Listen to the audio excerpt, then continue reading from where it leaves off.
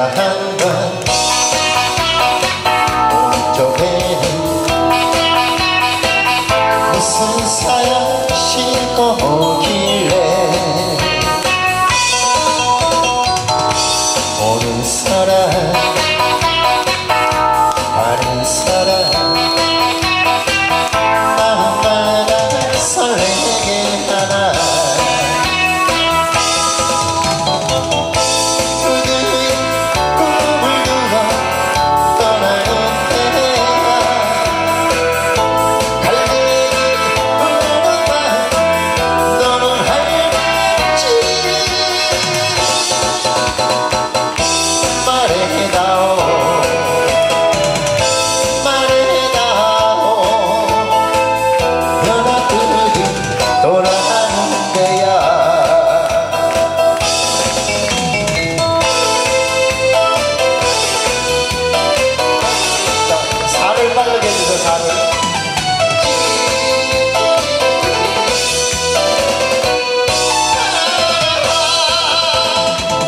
바람이 불면 파도가